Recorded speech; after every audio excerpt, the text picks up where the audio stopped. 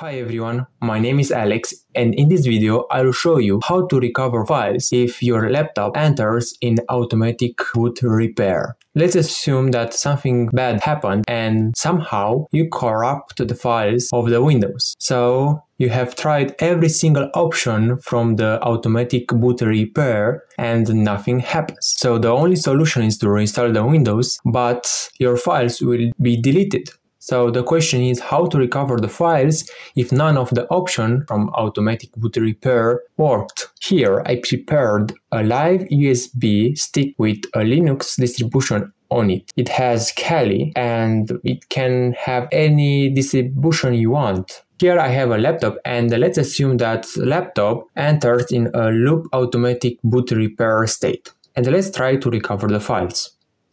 This laptop is an Asus TUF Gaming A15 and uh, it is very good laptop. So what you will need is the laptop which enters in the automatic boot repair state in a loop and the USB stick with uh, Linux distribution on it and a hard drive or USB stick to store the files you want to recover it. I'll insert the USB stick in the laptop right here in this port. After connecting the USB stick to this laptop, we need to enter in BIOS mode to change the boot order. For this particular laptop, we need to press F2, make sure the laptop is turned off, and while pressing F2, we'll press the power button.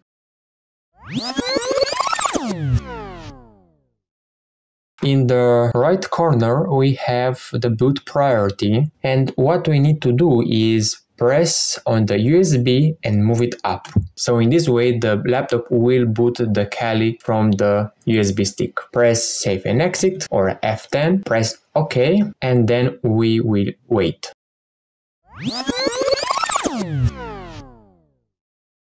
Here we have Kali Linux Live menu and we will choose live system with USB persistence. We will press enter on the keyboard. We will wait.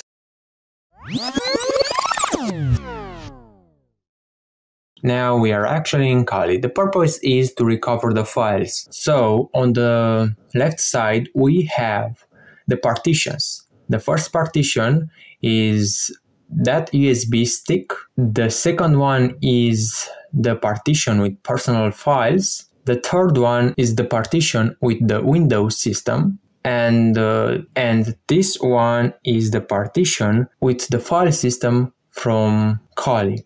Now I have this hard drive from Seagate, about 1 tera of memory, and I have this cable.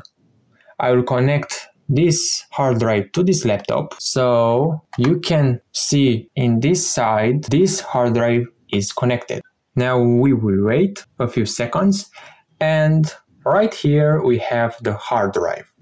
Be aware if you enter in uh, the partition with the Windows system, don't delete any files from that partition. So how do you know that partition is only about Windows? Just simple click on it and and you will see some folders folders that I think you can uh, recognize them. For example here we have Windows here we have program files here we have recycle bin and more and more like users more folders that uh, can make you understand this is a partition only about Windows. So now I want to enter in that partition where my personal files are saved.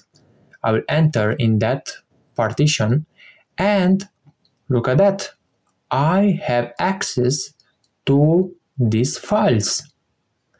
I will move this to the right side and I will open the hard drive here. So let's copy some things. I will say that on Windows I had in the projects, in the Python folder, some videos. For example, I made a video with Flipkart and I don't want it to be deleted. So I will choose to click on it, right click and copy and then move the cursor in the hard drive. Click on that zone, press right click and press paste. Here we go. Now we recover one of the file from this partition. So now you can have actually access through uh, you through a live USB stick with a Linux distribution to recover some files if the options from the automatic boot repair fails. So that is the one of the solution if you don't made a backup. So please leave a like to this video, be free to comment on this video and also subscribe to my channel Crazy Envelope for more tutorials like this. Goodbye and see you later.